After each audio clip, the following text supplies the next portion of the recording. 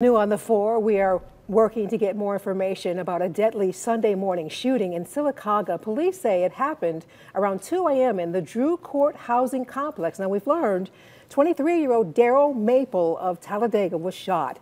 He was taken to the hospital where he later died. So far, no arrests in this case. Yeah, well, this marks a dramatic increase in homicides in the year for Sylacauga. Now keep in mind, Sylacauga only had two murders on average. Now it's up to eight this year, and they're asking you for your help to solve these cases. Our East Alabama reporter Reggie Kyle is live and on your side after talking with the police chief there.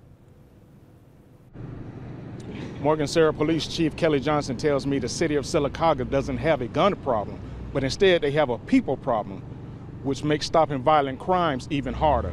Now, along with many other cities, the city of Sylacauga has seen an increase in murders with, a, with happening this past Sunday, excuse me, this past Sunday, averaging around two murders per year, which you previously stated. The city is now up to eight, which is alarming for the small community.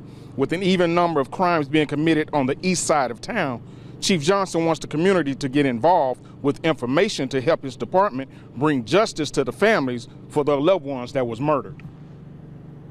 I don't know that there's any way to keep murders from happening.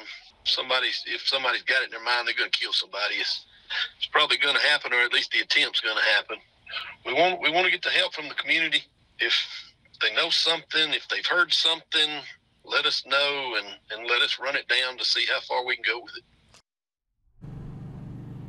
Now, Chief Johnson says if you have any information regarding these murders, please contact Central Alabama Crime Stoppers or contact the Sylacauga Police Department if you want to remain anonymous.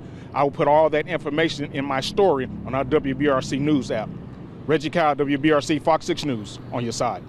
Alabama's